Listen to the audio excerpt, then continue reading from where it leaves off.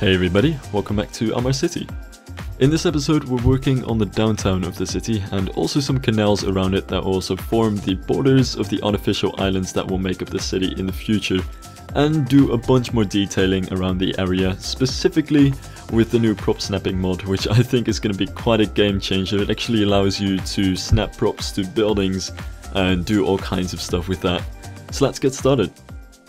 Now one of the first few things that I wanted to do in this episode is get in all of the buildings in the downtown that will really shape the way that it will look. Uh, now what I wanted to do with this downtown is actually give it a bit, like slightly that uh, American sort of look to it.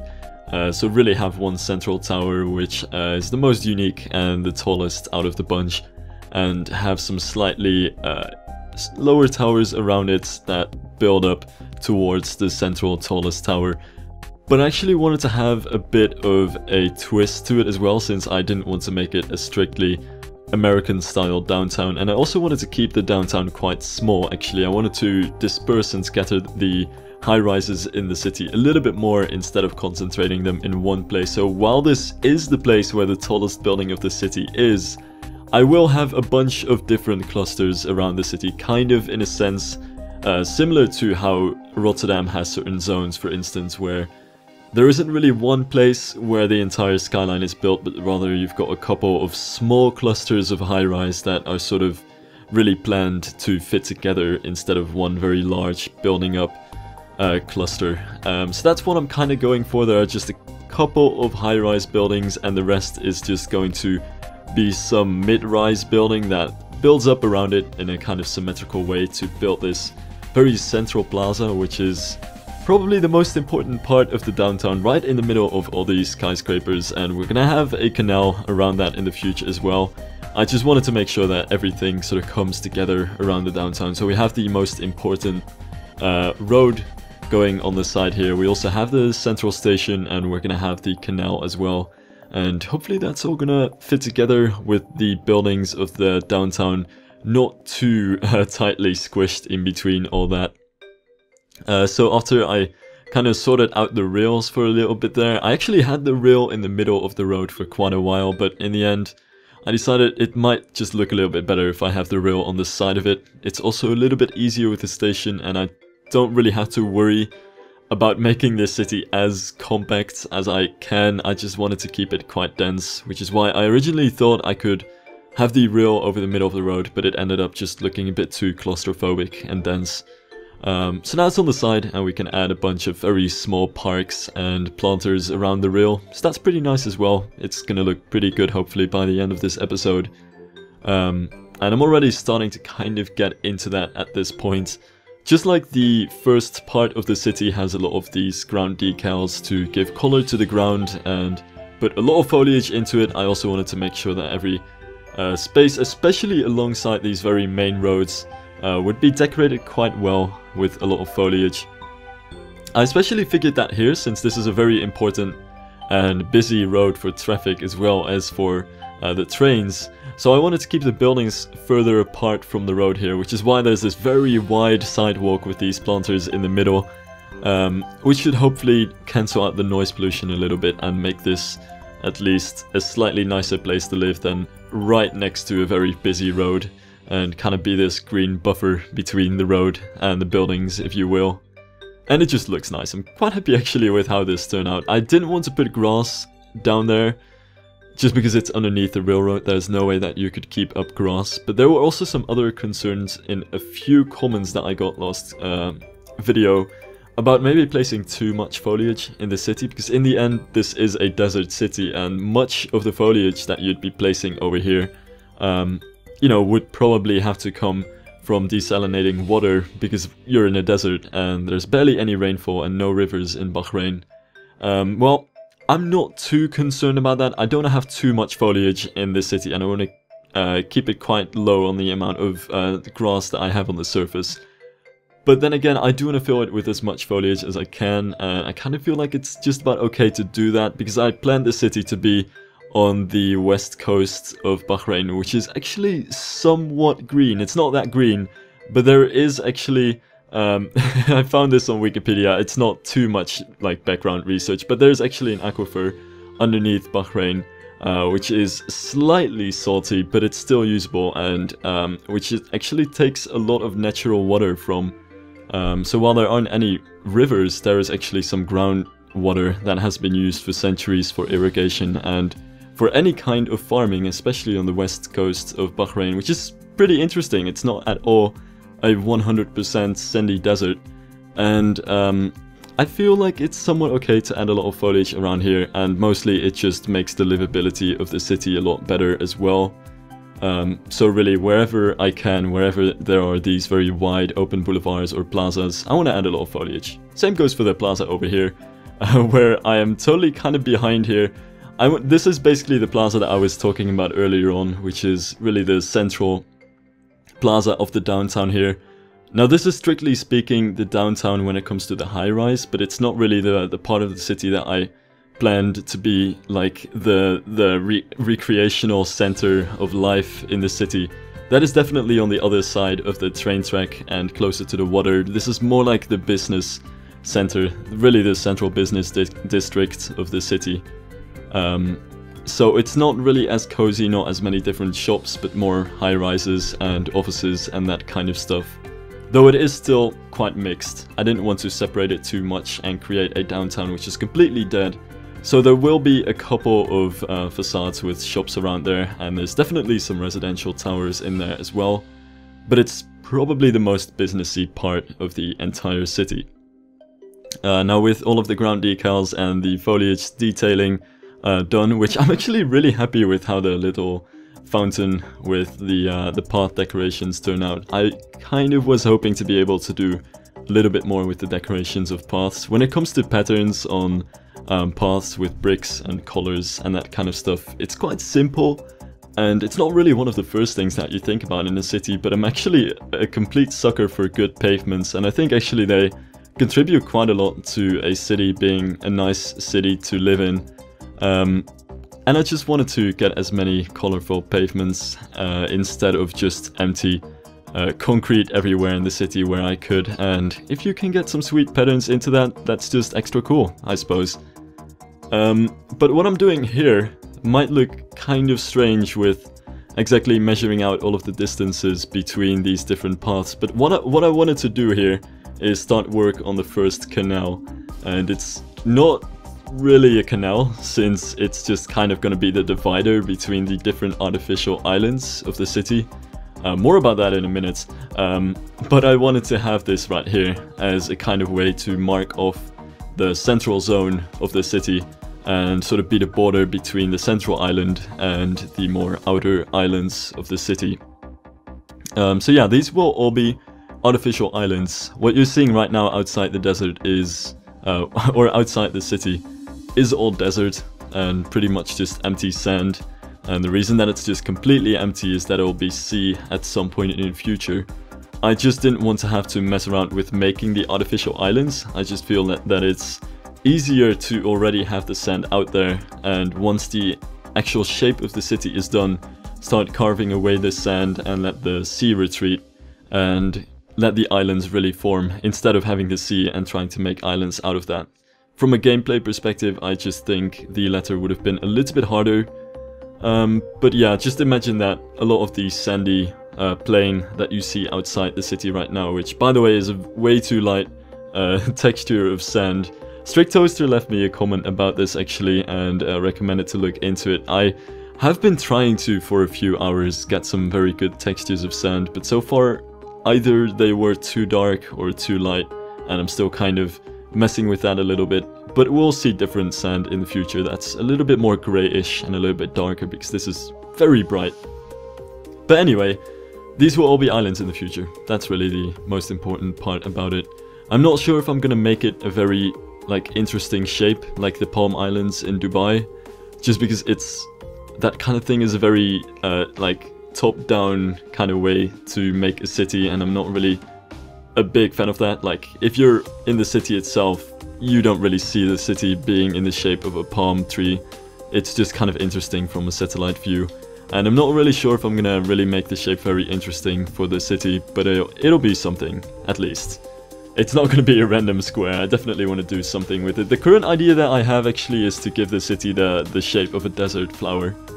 But that's very far in the future when the entire shape is all done.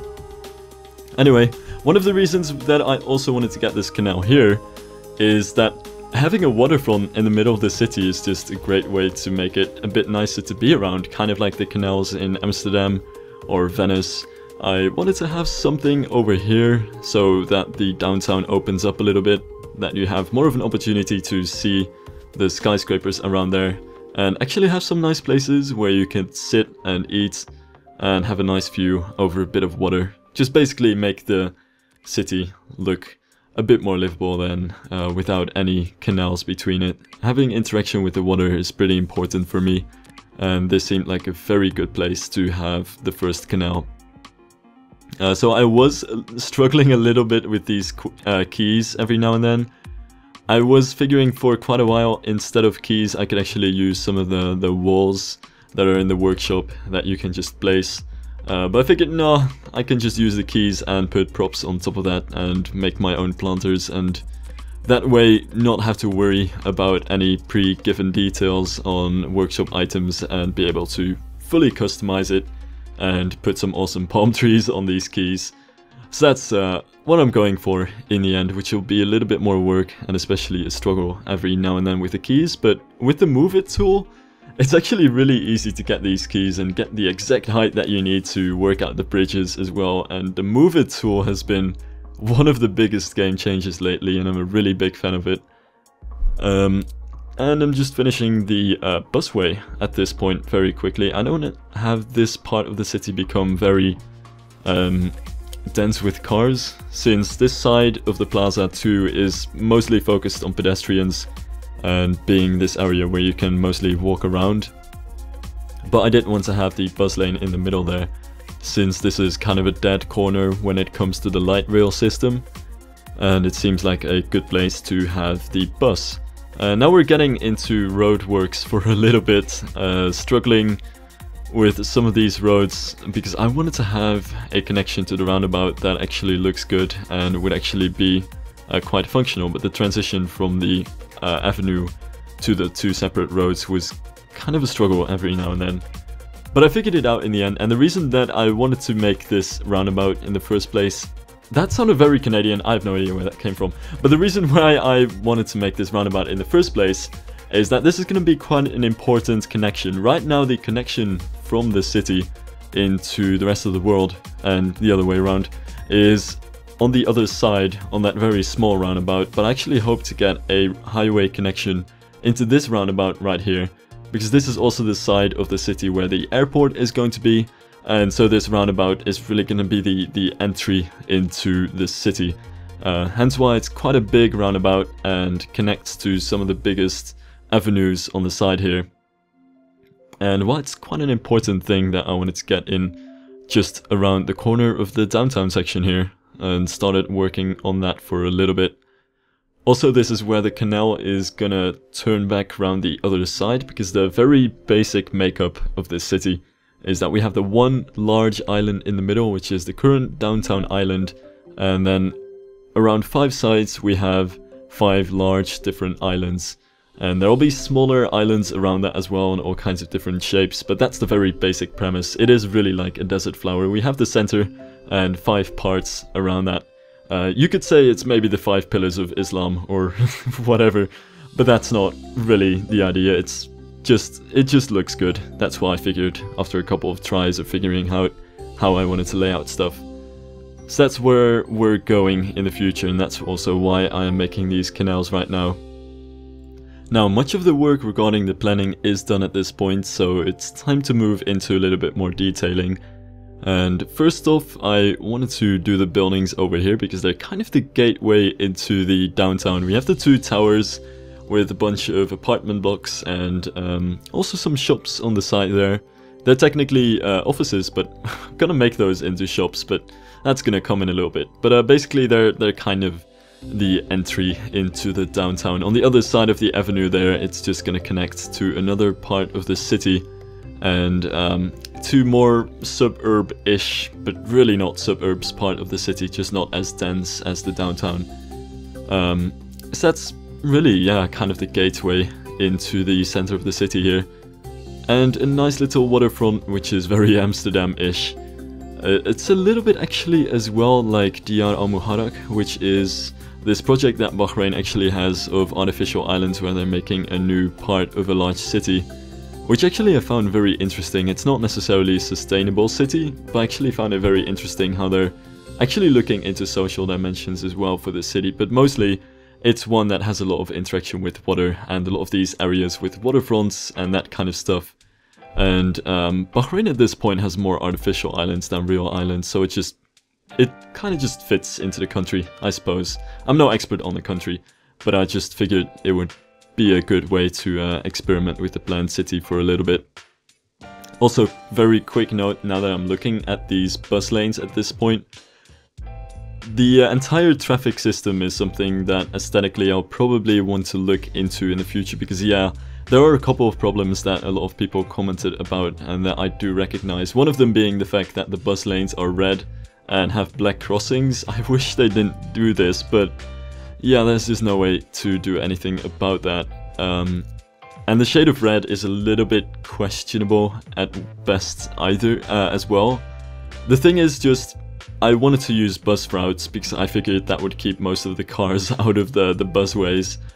But little did I know that the sims in the game don't give a fuck and they're still using them anyway and now there's cars going over my basketball courts and there's cars going over all of the concrete and going over every place where I didn't even want to have cars and um, that's kind of a problem and I might look into that with Traffic Manager. So yeah, when it comes to the bus lanes, I might stop cars from going there, I might change it into regular roads and uh, stop cars from going there but leave the buses on it and when it comes to the concrete paths, I'll see where I can sort out the cars and fix that stuff.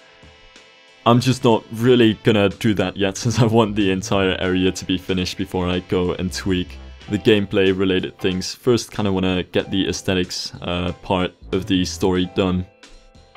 Also, one thing to note about this is that the population, as you can tell, is like 20,000, which is which is pretty good, but it's not really realistic. I actually, since I imported most of these buildings into Rico myself, and for a lot of these skyscrapers I counted a couple hundred inhabitants, which is actually fairly reasonable. But for some of the mid-rise buildings I counted a couple hundred as well, and I should not have done that. The population is off the charts and should definitely be a bit lower. So the entire amount of people driving around in cars is disproportionate to the size of the city at this point as well. I think it would be a bit lower. Uh, oh, it's actually going down in game now.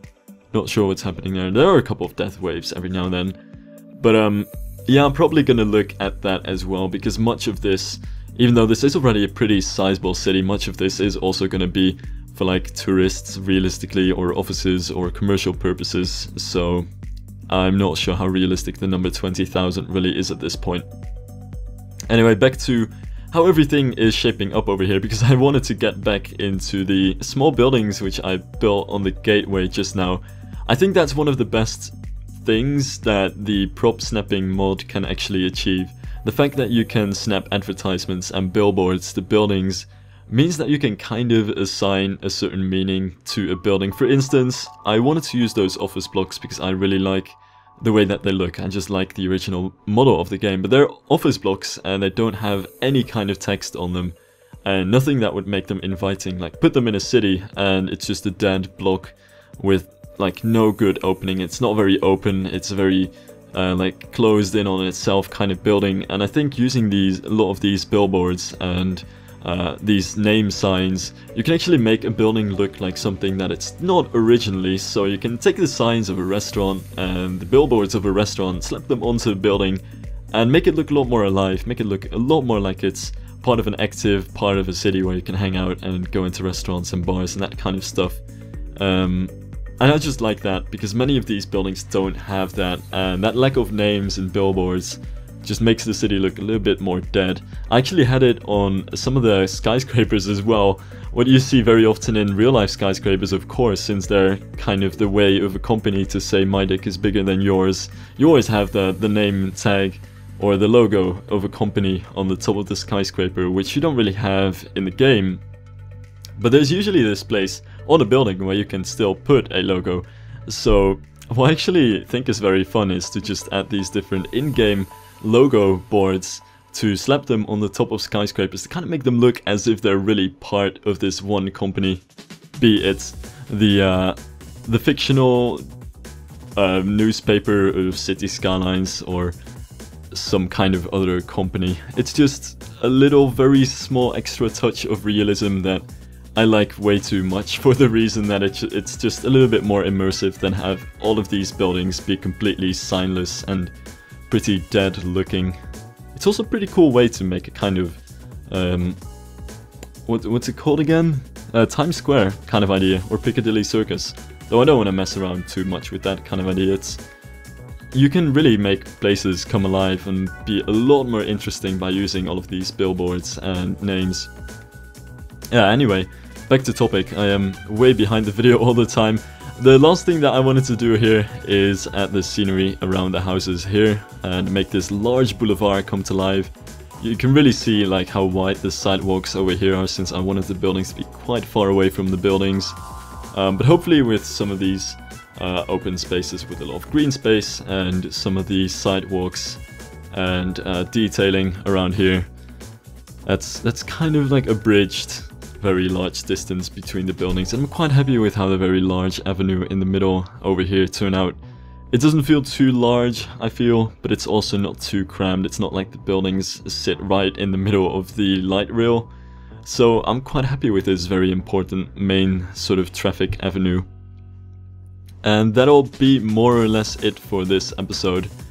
In the next episode, I'm gonna finish off some of the bits and bobs of the downtown, because while the downtown itself is definitely finished at this point, um, I've only really finished one side of the canal here, and I definitely need to finish the other side of the canal as well.